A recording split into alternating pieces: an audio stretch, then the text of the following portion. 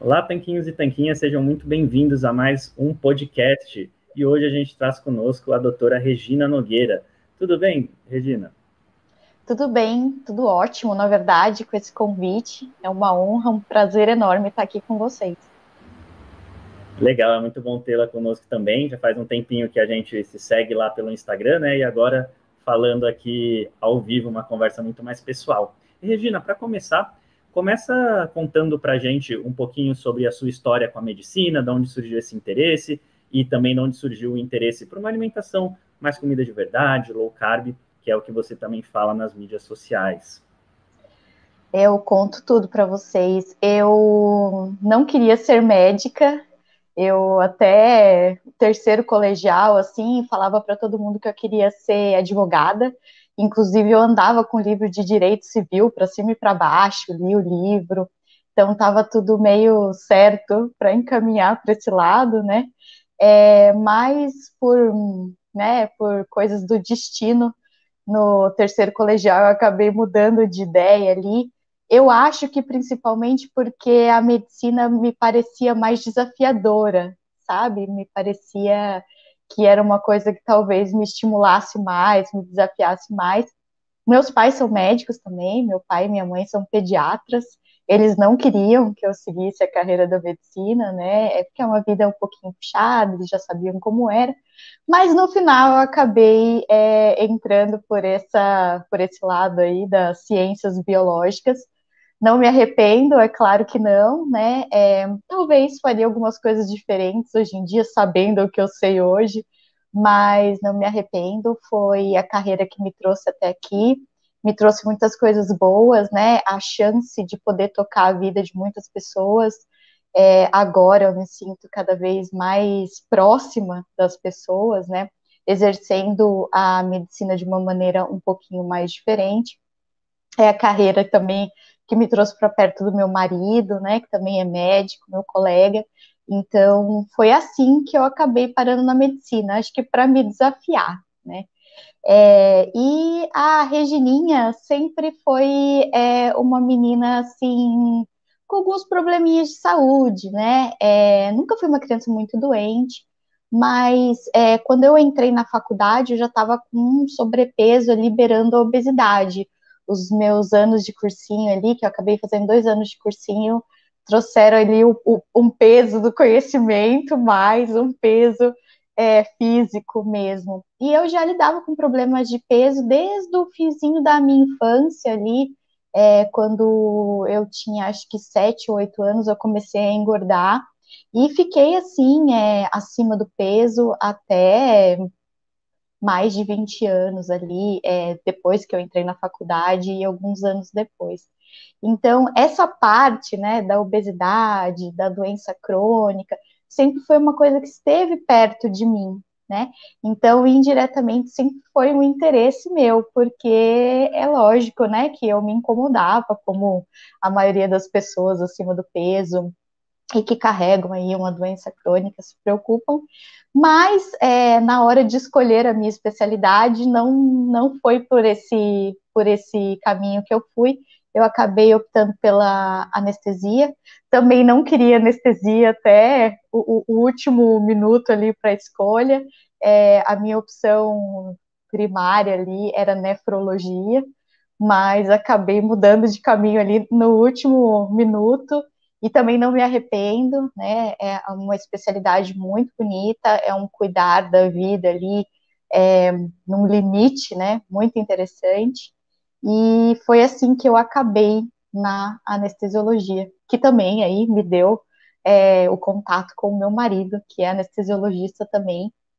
E Estava exercendo aí anestesiologia por alguns anos, eu tenho de formada médica 15 anos, né, e desde então exercendo a anestesiologia e me relacionando com os pacientes e, e vendo cada vez as pessoas mais doentes, né, é, isso é uma coisa que nesses últimos 10 anos eu tenho certeza que se você perguntar para qualquer colega meu, ele vai dizer isso. É, é, incrível como as pessoas estão cada vez mais doentes, como as pessoas estão é, sendo diagnosticadas com doenças cada vez mais cedo, tomando uma série de medicamentos cada vez mais cedo. E eu via isso, né? Eu via isso diariamente, pessoas com doenças crônicas evoluindo, principalmente diabéticos e hipertensos, né? E, e, isso me incomodava de uma certa maneira pessoalmente, porque eu, no, no, meu último ano de residência médica, eu fui diagnosticada com uma hipertensão grave. Eu era muito jovem, mas tive ali uma, um episódio de hipertensão muito grave, cheguei a ficar internada alguns dias no hospital, saí de lá tomando um montão de remédio, né? E um pouquinho deprimida, porque embora eu, eu, sou médica e sei que é um tratamento, que a gente toma um remédio, consegue controlar a pressão, o que eu via no dia a dia era que era uma doença crônica progressiva. É o que a gente aprende na faculdade, que diabetes, hipertensão são doenças crônicas e progressivas. De um jeito ou de outro, elas vão acabar piorando. Podem ser de uma maneira é, muito grave ou uma maneira não tão grave, mas elas sempre progridem. Então, isso me incomodou um pouco, porque eu era uma, uma mocinha, que agora já tenho 40 anos, mas era uma mocinha de 26, 28 anos, tomando um monte de remédio que nem velhinho, né? que eu achava que isso era uma coisa mais para frente, né? E aí tomei isso aí muito cedo. É claro que hoje, olhando para trás, eu tinha um estilo de vida muito ruim, né? A residência médica é muito sofrida para para o médico em geral, né, que está ali se formando, é, noites sem sono, uma cobrança muito grande, a gente come mal, é, então eu estava com sobrepeso e realmente eu via que essa era a situação. Mas muito interessante que naquela época o cardiologista que me atendeu falou: olha, mas você está um pouquinho acima do peso, você perdeu um pouquinho de peso, é melhor para o seu tratamento. E eu lembro de ter perdido peso naquela época e não alterou nada a minha, o meu tratamento. Continuei hipertensa, continuei ali tomando vários medicamentos. É, e é claro, né, que emagreci daquela maneira tradicional, é, usando uma estratégia baixa em gordura, que eu já havia usado centenas de vezes até, e nunca tinha é, funcionado a longo prazo. Eu perdi muito peso e reganhei várias vezes. É uma trajetória muito comum né? É, eu não tenho nada de excepcional na minha história, né? É, porque é o que a gente vê acontecer com a maioria das pessoas, e era o que eu via e continuo vendo acontecer com a maioria dos pacientes. É, em 2016, eu acho, é, eu estava me preparando para fazer uma viagem com o meu marido, e meu marido é o doido das fotos, ele adora tirar foto, e eu sempre odiei tirar foto, claro, como uma boa gordinha, eu não gostava de tirar foto, e ele sempre gostou muito de tirar foto, e eu estava preocupada, né, em estar um pouquinho mais gordinha que o normal para aquela viagem, e aí me desesperei, para preciso fazer mais uma dieta, né, uma dieta clássica, e procurando na internet, assim, eu procurei na internet por desespero, um cardápio, ele precisava de um cardápio, as pessoas adoram cardápios, né, é, eu precisava de um roteiro ali para eu seguir, e eu achei uma dieta dos 21 dias, e, nossa, eu lembro que eu, eu paguei aquilo, era uma dieta comprada, eu paguei, eu nem olhei o que, que era, qual que era o estilo da dieta, né? Eu falei, ah, o que tiver escrito lá eu vou fazer. E era uma estratégia básica em carboidrato, era uma estratégia, na verdade, inclusive cetogênica. E primeiro eu olhei aquilo e falei, gente, meu Deus do céu, isso aqui faz mal. Aprendi na faculdade que isso aqui faz mal. Carboidratos são essenciais, né? Como que eu vou ficar sem carboidrato? É, eu sou hipertensa, é muita proteína, isso aqui é muita gordura, isso aí vai direto para minha coronária, eu vou ficar com problema no rim, etc e tal. Mas aí eu pensei, poxa, eu já paguei isso aqui e por 21 dias eu acho que eu consigo me virar, né? E eu fiz a estratégia e muito rápido eu senti diferenças, talvez é, não tão físicas, né? Talvez não tanto no, no, na perda de peso, mas na, no meu estar, né? Na sensação que eu sentia, porque eu sentia um cansaço crônico, dores no corpo, uma fadiga, assim, que eu justificava porque trabalhava muito, porque o, o, serviço é estressante, porque ser médico é assim mesmo, né?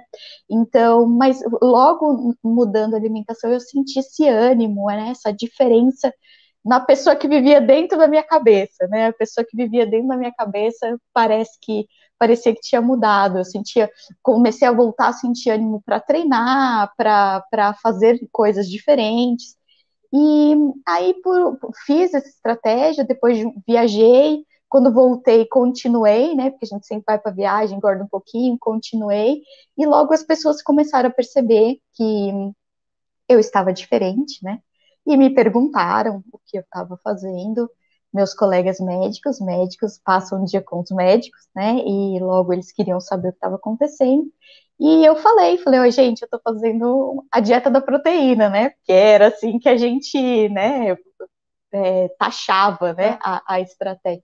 Aí todo mundo, pelo amor de Deus, Regina, mas você tem pressão alta, vai, vai acabar com o seu rim, é, vai acabar com sua coronária, isso aí vai fazer mal para sua pressão, é muito sal, né, porque a gente é, é orienta essa reposição de sal, né, ah, isso aí vai fazer mal. E eu fiquei com aquilo na cabeça, falei, gente, como que uma coisa que tá me fazendo tão bem, eu tô me sentindo bem, eu tô perdendo peso, eu tô me relacionando melhor com a comida, eu consigo parar de comer e parar de pensar em comer mais, né? Porque eu sempre tive esse problema também de, de ter pouco controle sobre certos tipos de comida, de alimento. Eu preciso é, entender porque que isso que faz tão mal está me fazendo tão bem. E eu acabei é, me dedicando a estudar a estratégia. Acabei descobrindo o blog do Solto, claro, né? E junto mais outras várias pessoas que já falavam sobre isso, inclusive vocês. Eu sigo vocês há muito tempo com esse meu perfil, esse meu perfil profissional, né? Já há menos tempo, porque ele foi criado mais recentemente, mas há muito tempo eu sigo vocês lá, tipo, completamente anônima. Já usei muito material de vocês, já é, peguei muito cardápio, muita receita. Então, pessoas como vocês é, fomentaram essa minha, essa minha curiosidade e a minha vontade de estudar. E aí eu acabei é, investindo nisso, né? Porque por, por interesse pessoal, hein, gente? Primeiro foi foi o, o, puro egoísmo. Eu queria saber se aquilo ia fazer mal para mim, né? É, e, e, aí vi que a estratégia não era deletéria, e muito pelo contrário, né? Não era só uma dieta para perder peso, era um tratamento de saúde. Comecei a descobrir todos os benefícios de saúde que vinham junto com uma alimentação limpa, né? Que na verdade do que a gente fala é isso, né? É uma alimentação limpa que limpa nossa mente, limpa nosso corpo e nos leva a mudar outros hábitos que também estão bem deturpados. E eu senti é, a necessidade de falar sobre isso e de que outras pessoas entendessem isso e, e tivessem a liberdade de praticar esse tipo de alimentação sem terrorismo nutricional, né? Porque eu sofri esse terrorismo dos meus colegas, sofri da minha formação, porque eu me formei acreditando que comer muita proteína ia lesar os rins, embora isso não esteja escrito em nenhum livro, mas isso é uma besteira passada, né? Uma coisa repetida várias vezes, a gente assimila aquilo. Então eu me vi na obrigação de dar esse conforto para pessoas que querem tentar mudar a sua alimentação, o seu estilo de vida, sem o terrorismo, sem ouvir de ah, isso vai acabar com você, isso faz mal, você não pode fazer isso. E aí acabei fazendo alguns cursos. Eu fiz o curso de formação de tratamento para tratamento de doenças crônicas da Noakes Foundation, que é, é coordenada pelo professor Tim Noakes, que é uma das os exponentes aí na estratégia baixa em carboidrato. E hoje em dia eu divulgo aí, né, é, todo essa, esse conhecimento, na verdade, é, na verdade, essa verdade, né, sobre alimentação baixa em carboidrato, porque as pessoas tenham mais conforto e tenham uma outra estratégia para tentarem ter uma saúde diferente, também um peso diferente, uma cabeça diferente. E esse é o resumo da Regina. Fantástico, Regina. A gente fica bem feliz de saber a sua história, tanto pela transformação pessoal, né? É, tá? Até por a gente ter passado por isso, a gente sabe como é poderoso a gente ensinar para as pessoas e poder falar com elas estando, tendo estado né, onde elas estiveram, nessa luta, nessa dúvida, aquelas, aqueles medos, será que isso faz mal? Será que vai funcionar? Será que vai funcionar para mim? Porque vejo uhum. todo mundo tem processo, mas eu não sei se vou. E também gostei de saber que você acompanha a gente faz tempo, né? Acompanha nossos materiais e tudo. É bem bacana. Sempre que vem alguém aqui no podcast conta que acompanhou a gente e tal, a gente fica muito honrado de poder ajudar a distribuir esse conhecimento, né? O conhecimento muitas vezes já existe, só que não é bem difundido. Então, uhum. você, a gente, enfim, tantas outras pessoas e profissionais fazem um bom trabalho nisso. E interessante essa jornada toda. É interessante também porque a gente sempre vê benefícios ocultos surgirem desse processo, né? Então, muitas vezes as pessoas querem só emagrecer por estética mesmo. Esse era o meu caso, né? Eu sofria muito com peso, era uma questão que influenciava bastante em autoestima. E como benefício, eu descobri que minhas idas ao banheiro ficaram mais regulares, que era uma coisa que eu tinha problemas antes. É, por exemplo, refluxo ou queimação, nunca mais tive. É fantástico isso. E um benefício que a gente queria abordar aqui nessa, nessa conversa de hoje é sobre a questão das dores articulares, né? A gente sabe que você já viu, já falou um pouquinho sobre isso no seu perfil, que a gente tem é, evidências nesse sentido também. Conta um pouquinho para a gente o que, que tem a ver a alimentação com a articulação. Para muitas pessoas parecem coisas bem desconexas, né? E na verdade, outras pessoas têm até um outro medo de que, puxa, com tanta restrição, será que não vai piorar? Então, acho que são bons pontos de partida para você poder apresentar um pouquinho para a gente sobre isso. É muito legal falar sobre isso. É, eu vou falar aqui de uma maneira assim genérica, é, não é minha especialidade, vou entrar um pouquinho no, na, no, no, lado da reumatologia, da ortopedia, mas é muito importante que as pessoas entendam é, onde, aonde eu quero chegar, né? Queixa de dor articular, rigidez articular é uma das coisas mais comuns que a gente tem hoje em dia. E isso eu vejo diariamente com os pacientes, né, que se queixam, ai, doutor, meu joelho, ai, meu punho, ai, meu tornozelo, né? São queixas muito comuns. E a gente, como médico, a gente é formado a procurar um diagnóstico atrelado a um tratamento. A gente, infelizmente, mesmo sem perceber, a gente pensa ao contrário. A gente pensa no tratamento primeiro e procura a doença através do tratamento. O que eu quero dizer com isso? Uma, uma senhora, eu vou usar, eu vou usar o, o, o exemplo mais clássico, né? Uma senhora com sobrepeso, hipertensa, diabética, que está com uma dor no joelho, uma dor no punho, ela procura um ortopedista, o que, que ele vai fazer? Ele vai pedir um exame de imagem, né? Uma dor no punho. Ah, provavelmente é síndrome do túnel do carpo, porque é muito comum em pessoas mais velhas, a dona Maria lava ali a louça, tal. E aí ele acha uma alteração, vamos supor que ele ache sim uma alteração, e indique um tratamento para a dona Maria. E é muito capaz que ela seja submetida talvez a um tratamento clínico ou talvez até um tratamento cirúrgico, mas que as queixas delas, dela continuem. Isso é muito comum, eu vejo isso muito acontecer. Pacientes que vêm, ai, doutora, eu tenho uma dor no joelho, ah, não sei quanto tempo. O ortopedista olhou, falou que é o menisco, falou que é isso. Gente, até pode ser, eu não estou criticando o diagnóstico, até pode ser. Mas a pessoa vai fazer o procedimento, ela vai lá fazer a artroscopia de joelho dela esperando melhorar, porque ela acredita que aquela é a causa única, né? E muitas vezes ela não melhora e o outro joelho também dói, e o tornozelo também dói. Se você pergunta para ela, assim, ah, mas o tornozelo também dói um pouquinho, o punho também dói, né? Então, de onde está vindo? Se, se, não é exatamente essa causa, né? É, muitos pacientes acabam procurando, por exemplo, a reumatologia. A reumatologia tem muito a ver com essa, essa artralgia, né? Que essas as dores na articulação, muitas doenças reumatológicas têm como sintoma artralgia, artralgia, artralgia generalizada ou artralgia até localizada, né? E aí a dona Maria, que sente dor no joelho, no punho, no ombro, vai lá no reumato, né? E o reumato pede 500 mil exames, né? 500 mil fatores reumatológicos que a gente sabe que existem, que a, a graças a Deus a ciência trouxe para a gente, né? Essa oportunidade da gente investigar mas a gente sabe também que quem atira para todos os lados acaba acertando, né?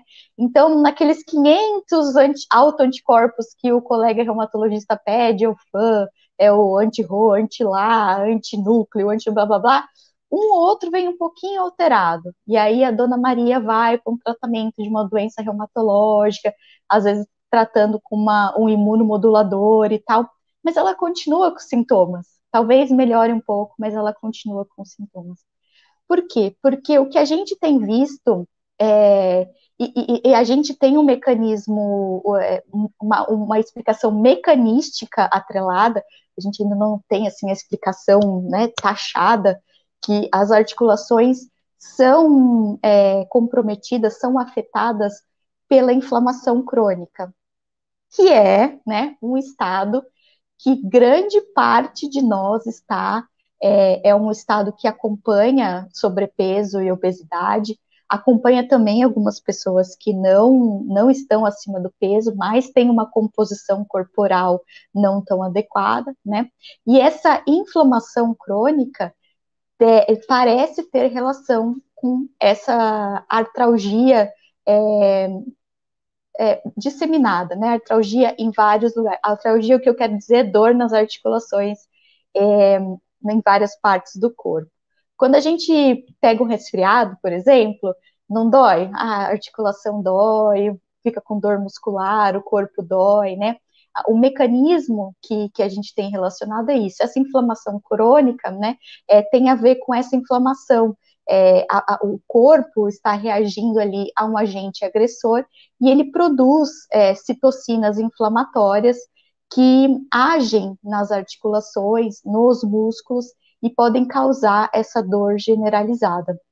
É, principalmente na, na, dor muscular, parece que está relacionada à interleucina 6, mas não importa. O que importa é que é um, um, um sintoma comum, né, que é, que é relatado em pessoas que a gente vê com um padrão, um padrão de síndrome metabólica, que é uma, um, uma situação que a gente sabe que existe uma inflamação crônica, e nós temos é, visto isso na ciência ainda tem pouco relatado.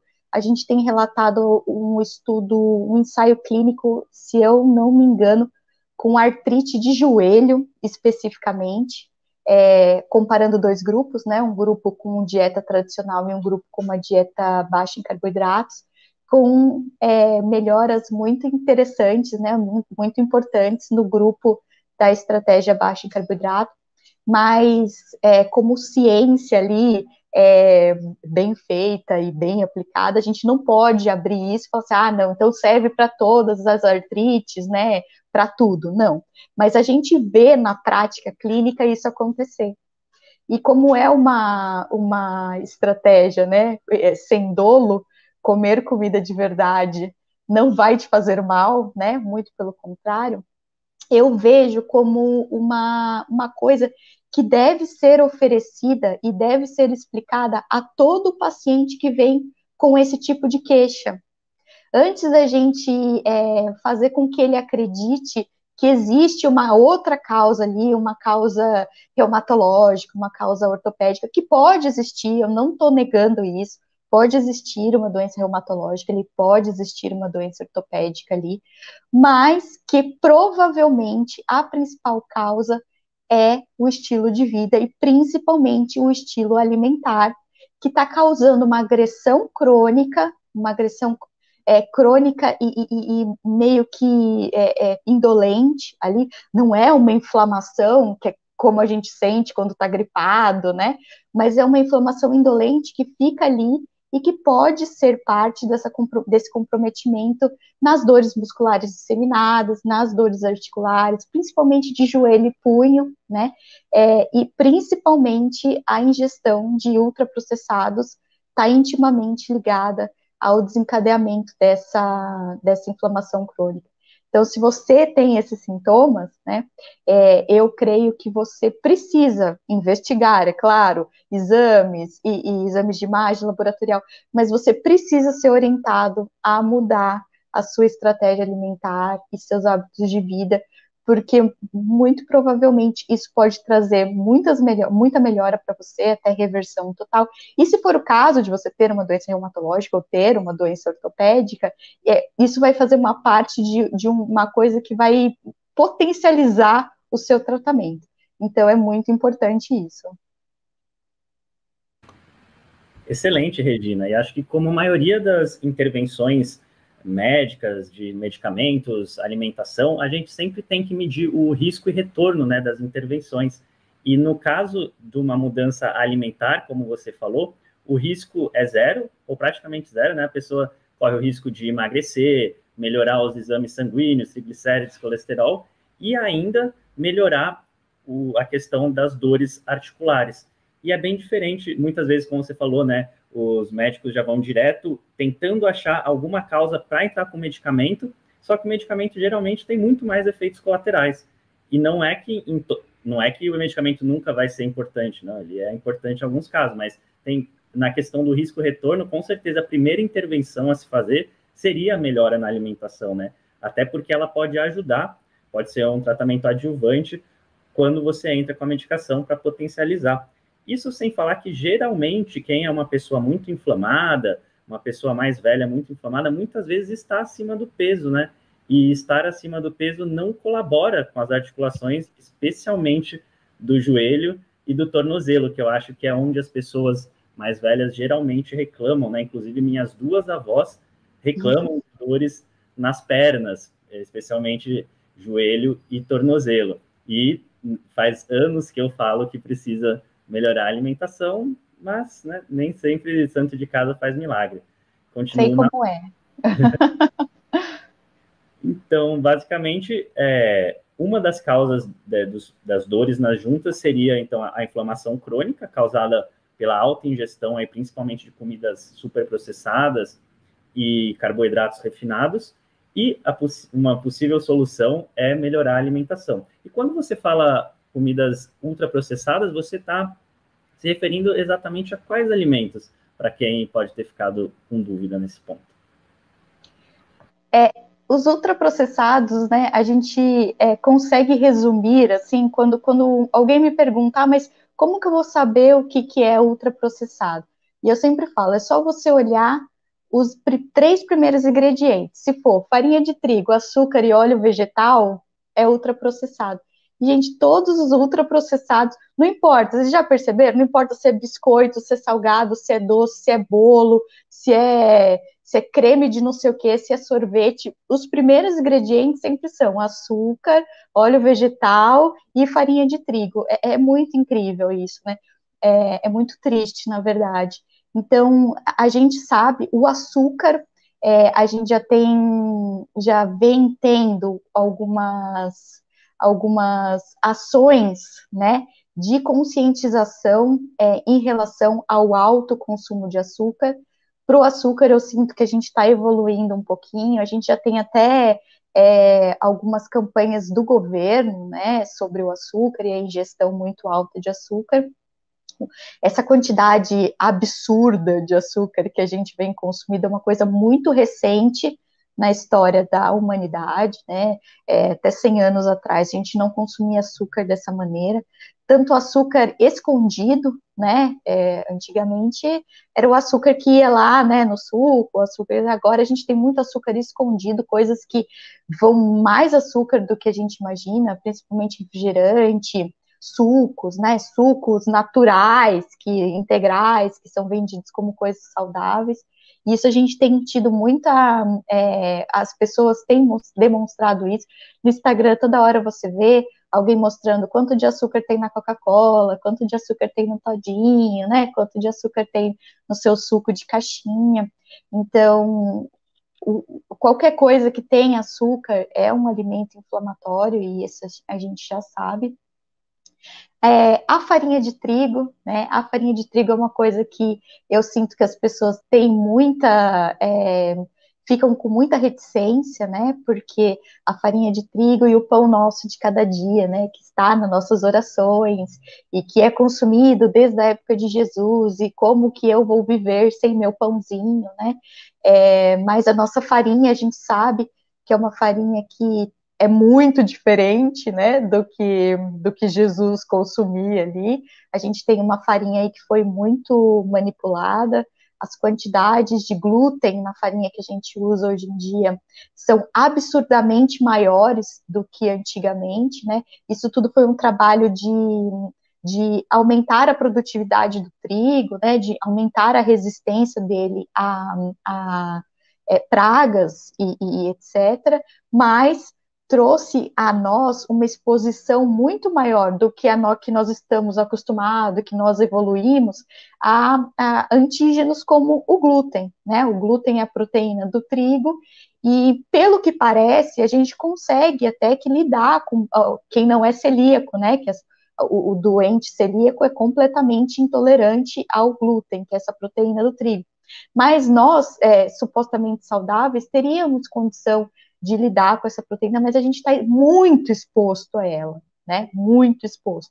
E isso traz essa, essa inflamação. O corpo vê aquilo como um, um, uma quantidade a mais do que ele consegue lidar daquela substância que ele não está preparado para lidar com tanto. E isso gera inflamação no intestino, gera o que a gente fala de permeabilidade intestinal, né? Nosso intestino acaba perdendo a capacidade de é, filtrar ali o que tem que passar e o que não pode passar, né? Isso eu sempre falo para os meus pacientes: nosso intestino é como se fosse um filtro de café. Ele não pode deixar passar o pó, mas tem que deixar passar o café, certo? Senão nós não, não tomamos café. Quando a gente perde a permeabilidade do intestino, é como se o nosso filtro furasse, então acaba passando pole, acaba passando antígenos que não precisavam, que não poderiam, na verdade, e acabam gerando essa inflamação crônica aí. É, e a nossa exposição ao trigo é muito grande, que nem eu falei, ultraprocessados, quase todos têm o trigo. E os óleos vegetais também tem, tem entrado nessa discussão, né? É, a gente tem um pouquinho de divergência aí, mas de, do ponto de vista observacional, né, o, o, óleo vegetal também é uma coisa muito recente na nossa história, né? O óleo vegetal antigamente era usado como combustível, a gente não comia óleo vegetal, a gente usava para queimar, né, para fazer máquinas rodarem, para é, lubrificar máquinas. E a introdução do óleo vegetal na alimentação humana é um grande, uma grande experiência que não teve ensaio clínico randomizado antes, né? A gente simplesmente, ah, isso aqui dá para comer, vamos comer e tá bom, né? E parece que também participa bastante, principalmente no metabolismo da nossa mitocôndria, que é a usina de energia né, do nosso corpo, da nossa célula, e gera também esse problema de, de energético e metabólico no nosso organismo. Então, o que é ultraprocessado? É o que tem açúcar, é o que tem farinha de trigo e é o que tem óleos vegetais. Fantásticas colocações, né? E essa questão do intestino é muito relevante porque, assim como a questão das articulações, as pessoas não associam diretamente com a alimentação, né? Ou com a saúde do corpo como um todo. É muito comum a gente pensar, comi, engordei, emagreci e meio que para por aí. Só que, uhum. na verdade, tem tantos nutrientes que a gente acaba deficiente, né? Com uma alimentação que é basicamente farinha e açúcar, e tanta coisa ruim que a gente acaba sendo exposto, né? Como, por exemplo, glúten, outras proteínas do trigo, enfim tanta coisa maléfica que a gente não consegue visualizar os efeitos disso. É, esse exemplo do filtro de café é excelente, né? A gente gosta de falar, um dos nossos programas, que é só sobre saúde intestinal, que o intestino é como se fosse o juiz da saúde, porque tudo que chega ele vai julgando. Isso aqui vai para a corrente sanguínea, que é bom, é saudável, para me nutrir, isso aqui vai para fora, tem que ser literalmente excretado, evacuado, né?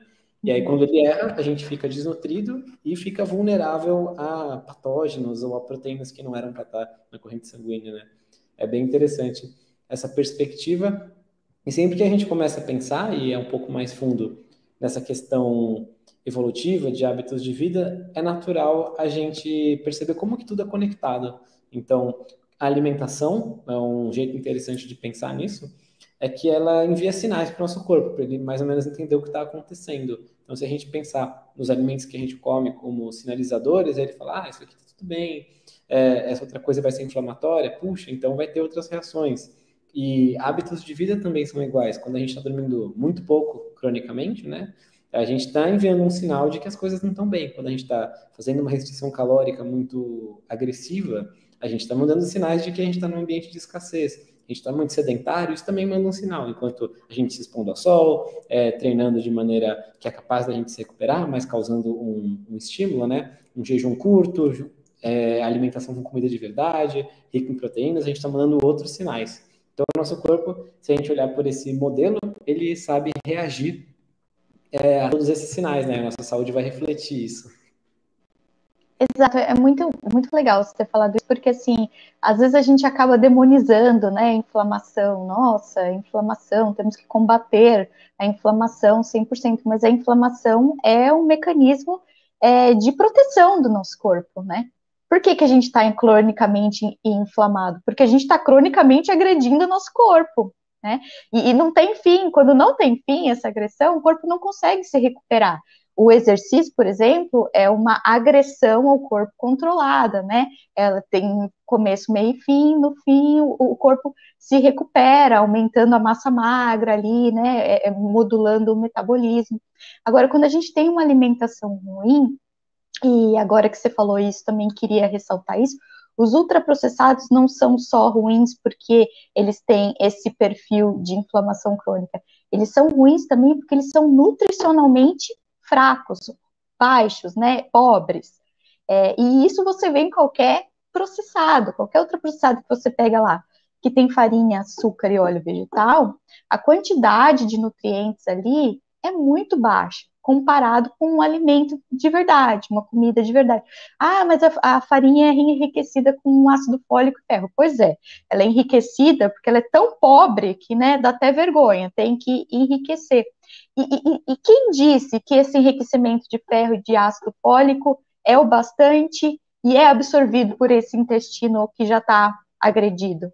Quantos pacientes eu não vejo que são obesos, estão acima do peso, comem para burro e estão desnutridos, estão com ferro baixo, estão com uma série de minerais baixos, estão tão desproteinizados, né?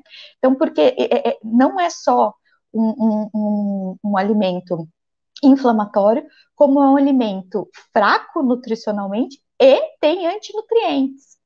A, ainda junto, vai prejudicar a absorção de certos nutrientes que você poderia estar é, é tá adquirindo comendo alguma coisa. Então, por exemplo, você está comendo é, uma, um, um, macarrãozão lá, né, um miojo, ah, mas é com a carne moída. Às vezes, esse miojo está bloqueando os benefícios que você poderia ter com essa, esse pouco de carne que você está comendo. Então, é outra coisa que a gente precisa tentar, que os ultraprocessados geram essa inflamação crônica, né, a inflamação em si não é o, o problema, não é o ruim, é um sinal do nosso corpo que você está fazendo uma coisa que está agredindo o seu corpo. A gente deveria ter mais, é, mais ser mais sábio e para perceber esses sinais, né? É, na hora que você começa a engordar, na hora que você começa a se sentir fraco, na hora que você começa a, a não ter tanto foco depois que você come, perceber, nossa, acho que o que eu estou comendo não está me fazendo bem, né? Melhor eu parar de comer miojo e comer um ovinho, né? Comer uma carninha, um vegetal. Mas infelizmente é, a parte, a gente sabe, né, da parte do marketing e da, da mídia, né, e, e tanto da orientação de grande parte dos profissionais da saúde, a pessoa continua nesse estilo alimentar, quando as pessoas não vêm com esse tipo de queixa e recebem a, a, a indicação de continuar fazendo a mesma coisa, né, de basear sua alimentação em cereais integrais, em biscoito integral, pão integral, arroz integral, e continua essa agressão no corpo, mesmo o corpo sinalizando que tem alguma coisa errada ali. É realmente incrível, né? A lavagem cerebral que foi feita, como conseguiram convencer as pessoas, um pouco de marketing, um pouco de ciência mal feita ou mal intencionada, e até hoje, né, a gente vê aí pessoas se formando nas faculdades com essas mesmas ideias, né? Você mesma falou que tinha essa ideia, até ficou com medo quando viu, pela, tentou pela primeira vez. Na verdade, quando a gente põe esse monte de alimentos que são a base, né, arroz, macarrão, a gente está tirando o espaço do nosso prato de alimentos nutritivos, né? Então a gente está colocando um monte de energia que vai ser rapidamente absorvida sem nenhum tipo de vitamina, mineral, proteína e gorduras boas, que são todas coisas essenciais, trocando para algo não essencial, que é o carboidrato, e aí, ao mesmo tempo, tirando do prato é, carnes que são carnes e ovos que são ricas justamente nessas coisas, né? Vitaminas, minerais, proteínas e gorduras boas. Então, realmente está 100% do avesso, ainda bem que já tem vários profissionais atualizados e bastante informação sendo cada vez mais difundida. E você tocou no ponto da inflamação, e a ponto da inflamação é mais ou menos que nem o estresse, né? Quando a gente tem o estresse crônico, é, é ruim para o nosso corpo, né? A pessoa que está cronicamente estressada com trabalho, com boletos para pagar e tudo mais, é muito diferente de quando a pessoa tem um pequeno estresse, por exemplo, do treino. É a mesma coisa com a inflamação, né? A inflamação quando a gente está doente, a gente precisa daquela inflamação pontual para se recuperar. Só que quando a gente está o tempo inteiro agredindo o nosso corpo com carboidratos refinados, a gente está fazendo ele ficar cronicamente elevado. E aí é como ficar cronicamente estressado e não é bom. E falando nesse ponto do estresse nos nossos músculos, né, da inflamação, a gente pode partir para a parte que a gente falou de treino, né, Regina? A gente tinha falado de comentar um pouquinho sobre isso. E quando a gente treina, nada mais é do que a gente vai causar um estresse ali no músculo que tem que ser é, um estresse pontual, né? A gente não pode treinar 24 horas por dia todos os dias, tem que ter o tempo de recuperação. E a gente estava falando de articulação também, eu acho que você poderia abordar um pouquinho sobre essa parte do treino em low carb, treino com relação às articulações, se não vai ser pior, se vai ser melhor, e a gente sabe que você treina também. Então, falar uma pincelada sobre essa questão de musculação, articulação e alimentação. É muito interessante isso, porque depois que eu comecei a estratégia e comecei a estudar e entendi que isso ia fazer bem para mim e, e, que eu poderia continuar, levar isso como uma, uma realidade, né? Um estilo de vida mesmo, é, eu senti, eu sempre corri, eu sempre eu fui gordinha que corria, sabe quando você sai no parque, você vê que tem um monte de gordinho correndo, a gente vê que não é o exercício que emagrece, né? E eu corria desde 2004, continuo correndo, mas depois que eu comecei a estratégia baixa em carboidrato, eu tive uma queda de, de rendimento, né? Aí eu pensei, olha, isso aqui é ótimo para mim, perdi peso e tal, mas para o esporte, acho que não, hein? Talvez tenha aí um problema. E aí continuei estudando, né? Porque podia ser que não, eu já, eu já, tinha tomado tanto tapa na cara, né? De pode ser que isso que eu acreditei também não é. E de fato não não se não se confirmou, né? Uma estratégia baixa em carboidrato, cetogênica, inclusive o jejum, né? É super compatível com a prática de esportes, tanto no endurance quanto para composição de massa magra, né? Hoje em dia a gente sabe, e isso também é uma coisa que foi um paradigma que caiu para mim. Para mim, o que emagrecia era o aeróbico, né? Eu tinha que ir na aula de spinning, depois ir na aula de jump, depois correr mais um pouquinho na esteira, né? E ir embora, porque o negócio era gastar muita caloria. É, por anos na minha vida, frequentei academia sem ver resultado nenhum, sabe? Coisa frustrante mesmo. Perder peso, a gente sempre consegue perder, né?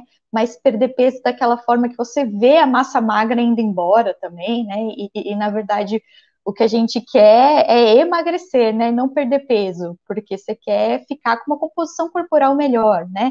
E acaba perdendo peso, acaba perdendo massa magra. E eu acho engraçado as pessoas dizerem isso da low carb ou da cetogênica, que vai te fazer perder massa magra. Se tem uma coisa que eu tenho experiência em perder massa magra com uma estratégia baixa em gordura, né? É, ficar lá comendo seu biscoito integral e, e, e, fugindo de carne, porque carne tem gordura e gordura faz mal, é isso que te faz perder massa magra. É muito mais fácil você perder massa magra, né? Se matando na academia e comendo biscoito integral do que comendo comida de verdade e treinando direito. Mas a, a, as estratégias, é, a, a estratégia ela combina com o exercício físico. O exercício físico é essencial, tá? Não é, ah, eu não preciso, ah, mas para mim, não. Eu falo isso sempre lá no meu Instagram, nós somos seres de movimento, o sedentarismo também causa inflamação crônica. Você deixar o seu corpo parado também libera esse sinal para o seu corpo que vai te mostrar que tem alguma coisa errada. Nós somos seres de movimento, nós temos que estar em movimento. Né? É, hoje em dia a gente já sabe que é, o exercício de força metabolicamente falando, tem mais benefícios, né? Isso não significa que você não possa ou, ou deixe de fazer o aeróbico, né? É, o aeróbico também tem sua função, mas como eu, né, para a Regininha do, do passado, que só queria correr e, e fazer o spinning ali, um, um treino de força é necessário, porque o músculo é o nosso órgão metabolicamente ativo né? Ele que vai manter o nosso corpo ali, ele que vai captar a glicose, ele que vai manter a gente saudável. A gente sabe que a quantidade de massa magra está diretamente relacionado à longevidade. Os nossos velhinhos com pouca massa magra, né, é, sofrem muito mais e morrem mais cedo. É, pessoas com uma, uma composição corporal melhor, com massa magra maior, vivem mais, vivem melhor, né? E, e, isso eu tenho visto muito, nossos velhinhos estão sarcopênicos, né? Nossas vozinhas, nossos vozinhos têm aquelas perninhas fininhas, os bracinhos fininhos e o barrigão, né? É, infelizmente isso é muito ruim, isso é uma coisa que é, fala muito na longevidade. Então, o treino de força é, um, é, o que eu diria que é o obrigatório, né? Embora o aeróbico também seja necessário, no meu caso, por exemplo, eu, eu acredito que de muitas pessoas, para mim o aeróbico é como se fosse uma terapia, né? É um momento ali que eu tô lá correndo, só eu e eu mesma. É, o exercício de força necessita um pouquinho mais de atenção, né? Ali no exercício. A gente não precisa, isso também é uma coisa que, que é, mudou a minha mentalidade, ficar duas horas e meia na academia, né, que era uma coisa que eu também tomava quando eu acreditava na outra estratégia, o professor vinha ali com 15 séries de 15 exercícios, né, e você ficava ali duas horas na academia, competindo com um, competindo com o outro pelo aparelho e tal, e não via resultado, né. A gente sabe também que hoje em dia um treino bem planejado não precisa ser muito maior do que 30, 40 minutos, né, para a, a, saúde, né? Não estamos falando de, de fisiculturismo, nem ganho de massa magra mais intenso, né? Mas para a saúde básica, não precisamos de treinos muito importantes. Mas na saúde articular, na saúde óssea, na saúde muscular, a gente tem muito a ver isso. Por que, que as pessoas com sobrepeso têm tanto problema articular? Porque aquela articulação está sobrecarregada e tem uma musculatura mal preparada, um tendão que sofre com desnutrição, né? É, é, as coisas estão interligadas. Por que, que a, a, pessoa sofre com dor no tornozelo, com dor nas costas? Gente, dor nas costas é a principal queixa no pronto-socorro. Qualquer pronto-socorro do mundo, né? A principal queixa é a lombalgia. E por que, que nossa, as nossas costas doem tanto? Porque nossa musculatura está fraca, porque a gente deixa a musculatura ali parada, a gente fica o dia inteiro sentado, e come mal, e dorme mal, né? Então, esse preparo muscular protege suas articulações também. Uma musculatura bem preparada protege o seu joelho na hora que você vai fazer o seu futebol de final de semana. Quantos pacientes? Ah, chegou lá com o joelho todo arrebentado. O que, que aconteceu, seu Zé? Ah, foi jogar futebol. Você joga futebol? Você, ih, filha, fazia seis meses que eu não jogava. Dei uma corridinha, foi o ligamento. Por quê? Porque o, o, a musculatura tá ali ruim, a, a, nutrição daquele tendão tá ruim, né? A, a lubrificação daquela articulação tá ruim, e tudo tem essa causa essa causa de maus hábitos, principalmente alimentares e de sedentarismo. Então tá tudo interligado. O treino de força, né, protege as articulações, protege os ossos, mulheres com osteoporose, né, é, ai, tomando vitamina D, tomando cálcio, e, e, não, e não melhora a minha osteoporose. Se não comer carninhas, não comer proteína, porque nossos ossos, a gente preocupa com o cálcio, mas a maior parte do osso é proteína, onde o cálcio se deposita é proteína, né? Então, se você não come proteína adequadamente, se você não treina, você pode repor seu cálcio lá, pode tomar seu alendronato. Não tem grandes resultados, né? Porque não está agindo na causa.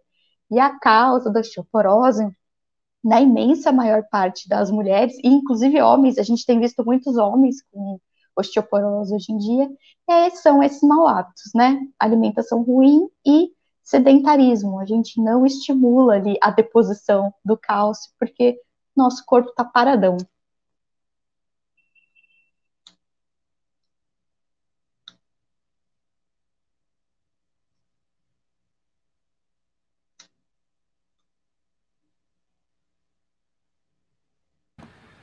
Perfeito, Regina, muito bom. É, e usar os nossos músculos e nossos ossos evita que eles uh, sejam consumidos pelo tempo, digamos assim, e pelos maus hábitos, né? Então é o contrário, né? As pessoas acham que, ah, tô ficando mais velha, vou me cuidar, não vou exagerar muito, mas na verdade o certo é manter, não só quando fica mais velho, né? Mas manter esse estilo de vida mais ativo para evitar ter esse tipo de problema na velhice, né? Às vezes é, nunca é tarde demais, né? Sempre dá para recuperar. É muito pior, inclusive, você falar, ah, já já tá tarde demais, não adianta fazer mais nada, e aí vai só piorando. Sempre dá para correr atrás, nunca vai ser perfeito, mas sempre dá para a gente melhorar a qualidade de vida é, no momento que a gente está e no futuro também. E Regina, é, você falou um pouquinho que gosta de correr, falou um pouco da sua alimentação. Conta pra gente quais são seus outros hábitos saudáveis ou que você considera que são importantes para você como um todo. É, eu, na parte do esporte, gosto muito de correr, mas uh, o meu esporte do coração é a natação. Eu nado desde pequenininha, quando eu era criança, né, na década de 80, quando a criança chiava, tinha asma, o tratamento era mandar para natação, né? E meus pais eram pediatras, a gente não tinha tantos medicamentos ali, é, que sorte a minha, né? Porque senão ia acabar dependente da bombinha ali, mas nado desde os dois anos de idade, então eu tenho um... a natação é um pouquinho mais complicada, exige um preparo ali, mais tempo, né? É, mas é meu esporte do coração. É, outra coisa que eu sou fascinada, né, que é um dos meus hobbies, é leitura. Eu adoro ler, né, e gosto muito de ficção mesmo. Hoje em dia, o estudo da ciência, né, envolvendo alimentação é, e estilo de vida tem roubado um pouco do tempo, mas eu adoro ler livro, adoro ler os clássicos. É, eu sou, sou uma, uma traça, gosto muito de ler gosto muito de música também, e ultimamente eu tenho é, me tornado uma fã da Academia da Mente. Eu ouvi esses dias uma, uma terapeuta falando que a meditação é a academia da mente. Eu adorei isso. É, a gente precisa exercitar o corpo, mas a gente precisa exercitar a mente também. E eu tenho me dedicado bastante à meditação, tenho gostado bastante era uma das coisas que eu achava que era besteira. Ai, gente, que coisa transcendental, né? Que coisa esotérica, meditação. Mas, na verdade, é, tem trazido muita, muito benefício e, e muita hum, melhora nessa parte do estresse crônico, né? Porque a gente vive vidas difíceis, que nem vocês falaram, né? Às vezes é um pouquinho difícil a gente controlar, mas a gente entender o momento é, do estresse e o que aquilo faz fisicamente com a gente, entender que aquilo é apenas uma reação a um sentimento, né, é muito importante. Então, eu recomendo vocês, é, a todos que estão ouvindo e vão ouvir, é, também exercitarem a mente e a meditação é um ótimo mecanismo, é uma coisa muito legal. Fantástico, Regina. Então, esses pontos todos mostram que a gente não, não fica satisfeito, né? A gente não fica completo, não fica saudável como um todo, como ser humano, só com treino, jejum, alimentação saudável, sono. É, muitas vezes essa abordagem, né, de que as pessoas tentam resumir as coisas a isso, acaba caindo naquela falácia, né, até novamente dos mecanismos, como se isso fosse suficiente. É claro que bons hábitos de saúde podem ajudar a gerir ansiedade, podem auxiliar na saúde mental, mas no fim do dia a gente ter uma mente calma também, a gente ter bom convívio social, a gente treinar nossa mente com leitura, com meditação, com tantas formas que a gente pode, né, psicoterapia, o que for, pode sim é, fazer a nossa vida ser melhor. E no fim das contas, a gente vive, a gente se alimenta bem, a gente treina, a gente faz tudo isso para viver melhor. Não é para ser uma prisão e para ter os exames mais bonitos do laboratório, nem nada assim. A gente faz isso para viver melhor. Então, acho que a questão dos seus bons hábitos encapsulou bastante tudo isso. E, bom, é muito interessante a gente ver que a gente nunca chega no 100%, né? E isso às vezes traz um pouquinho de agonia para as pessoas. Ai, doutora, mas meu sono já tá bom. Ah, mas eu já, já tenho hobby. Ah, mas eu já como direito. Gente, o perigo está na zona de conforto, né? A hora que você está muito acomodadão lá, é a hora de você fazer alguma coisa que você sempre pode melhorar. Você sempre pode melhorar a sua saúde. E isso não, não tem que trazer ansiedade, isso tem que trazer esse, esse, essa coisa bonita desse desafio de você sempre se superar, sempre estar estudando, sempre estar entendendo melhor você mesmo. Isso eu falo sempre. O que eu quero é que vocês sejam especialistas em vocês mesmos. Vocês aprendam a se observar e, e vocês entenderem onde pode melhorar, o que precisa mudar, às vezes é só mudar que a gente precisa mudar, tira a gente da zona de conforto e a gente evolui, né? Então esse é o objetivo, a gente viver bem e viver evoluindo até o fim, né? E com qualidade de vida. Com certeza, com certeza. É, a gente obtém né, uma satisfação muito grande de superar desafios, chegar em novos níveis, e ao mesmo tempo tem um equilíbrio delicado entre ficar insatisfeito, né, e, e buscar outras coisas e também nunca aproveitar. É, mas esse é assunto acho que para outro podcast, talvez numa outra oportunidade. Então, encerrando este podcast, no caso, eu queria saber se você tem uma mensagem final, algum recado que você gostaria de deixar para quem está nos ouvindo, antes da gente finalizar. E, além disso, queria agradecer você por estar aqui com a gente, fantástico. Eu queria agradecer demais o convite de vocês, é, dizer de novo que eu sou fã, acompanho o trabalho de vocês há muito tempo, é, acho muito importante é, disseminar é, essa, é, essas ideias nossas, e eu acho é importante a gente disseminar com linguagens diferentes, né? Porque falar, ah, mas já tem bastante gente falando disso, mas cada um fala com uma linguagem diferente, cada um chega em pessoas diferentes, né?